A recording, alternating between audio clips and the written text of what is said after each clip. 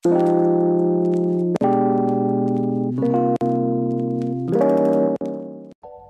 semua, apa kabar? Balik lagi sama aku Cynthia Gading.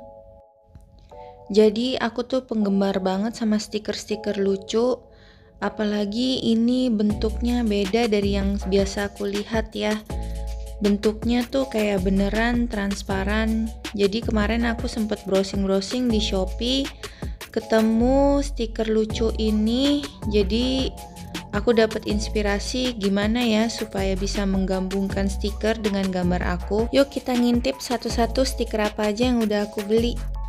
Stiker pertama nih lebarnya 35 kali 100 mm. Dia motif lace, banyak motifnya, cuma aku suka yang motif ini. Kalau dibuka jadi seperti ini, motif lace-nya cantik banget. Cocok kalau ditempel di kertas yang agak gelap deh kayaknya.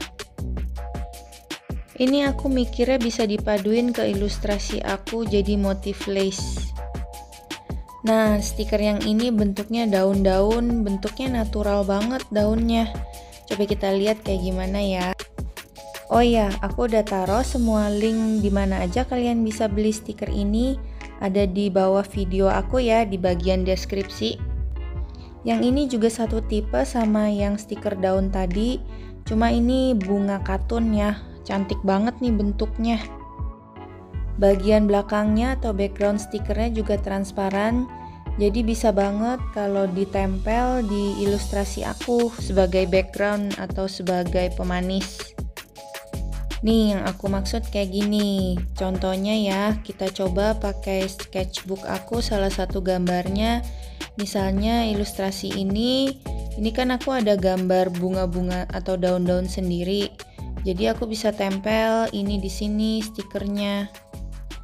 Atau gambarku yang polos, ini aku bisa tempel di bagian sini sebagai background. Pokoknya idenya bisa macem-macem deh. Selanjutnya stiker yang ini udah dapet satu paket. Ini isinya bener-bener banyak banget. Terus bentuknya juga kayak beneran maksudnya kayak sketch ya, kayak gambar pensil jadi bagus banget aku langsung jatuh cinta banget sama stiker yang ini. Karena backgroundnya transparan juga, nih aku kasih lihat di bagian putih ya biar kelihatan motifnya.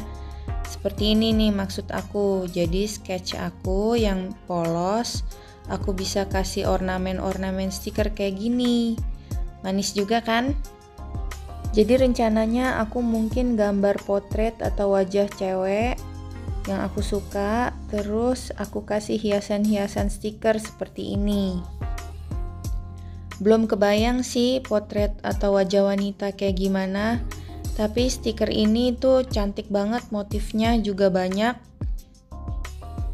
Motif yang seri ini bunga-bunga sama daun-daun ini motifnya aku kasih lihat ada apa aja yang aku suka lagi dari stiker ini dia gambarnya tuh kayak gambar tangan jadi nggak kaku.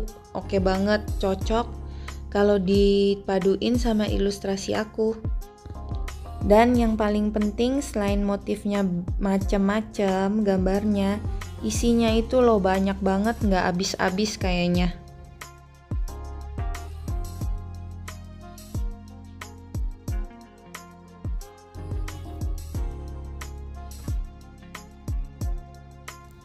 Nextnya masih satu seri sama stiker yang sebelumnya.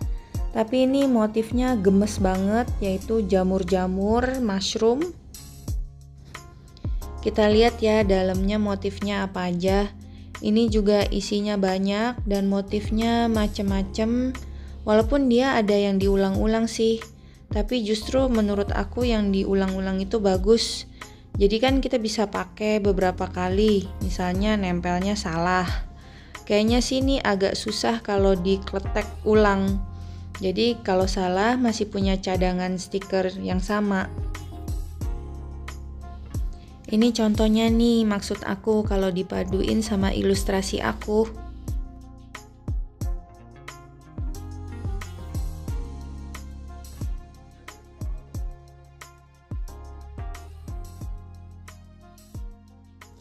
Selanjutnya stiker dalam kotak yang imut ini.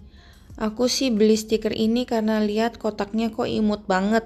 Eh, ternyata isinya nggak kalah menariknya loh.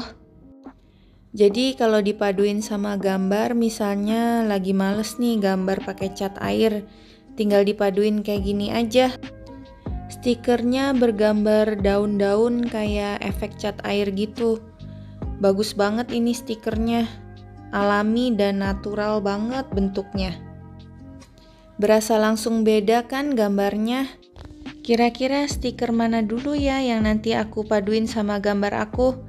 Kalian ada ide gak? Kalau ada, tulis ya di kolom bawah. Oke, sampai sini dulu. See you guys in my next video. Bye!